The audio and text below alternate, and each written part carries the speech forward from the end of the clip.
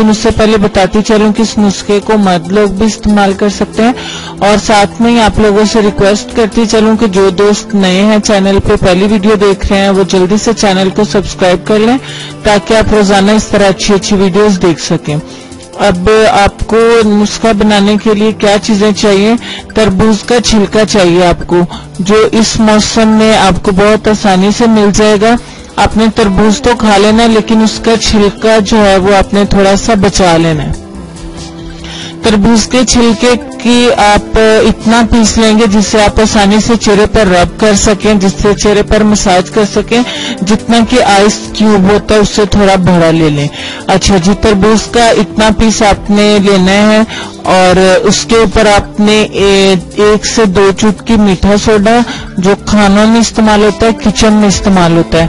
और इसके साथ आपको ऑरेंज जूस मिल जाए तो ज़्यादा बेस्ट है।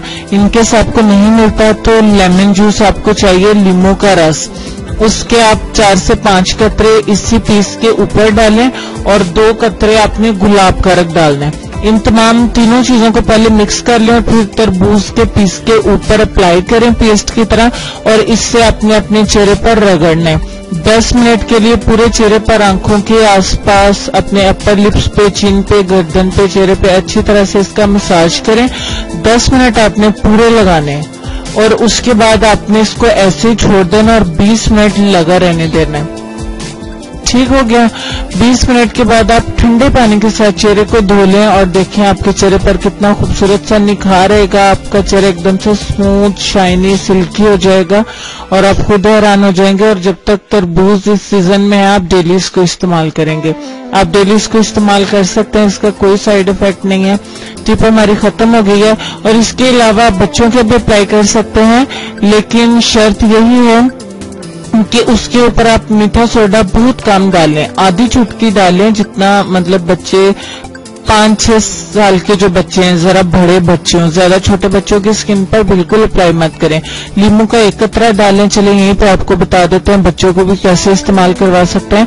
एक कतरा आप लीमू का डाल दें उसके ऊपर एक कतरा गुलाब का रख और एक चुटकी मीठे सोडे की डाल लें उससे कम थोड़ी रखें, ज़्यादा बेहतर है।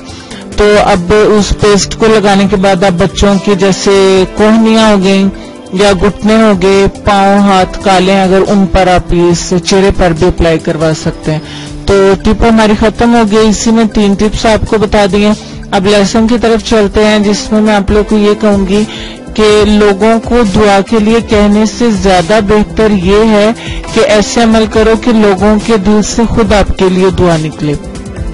इस बात पे गौर तो आपने लाजमी करना है और अमल भी ज़रूर करना है। अपने पूरी कोशिश करिएगा कि इस पे आप अमल भी करें। अच्छी बातें आप लोगों के साथ शेयर करने का मेरा मकसद यही है कि आप लोग जो है इन छोटी छोटी बातों पे गौर के साथ साथ अमल भी लाजमी किया करें। अब इसके बाद अगर आप लोगों को वीडियो अच्छी लगी हो तो अपने दोस्तों के साथ लाजमी शेयर करें ताकि उन तक भी नुस्खा पहुँच जाए। और मुझे इजाज़त दीजिए, मुझे अपनी दुआ में लाजमी याद रखिए। नई वीडियो में फिर ज़बरदस्ती टिप लेके हाजिर हो जाऊँगी। तब तक के लिए अपनी खूबसूरती का, सेहत का और अपने पेरेंट्स का ढेर सारा ख्याल रखिए। खुश रहिए, आबाद रहिए। अल्लाह हाफिज।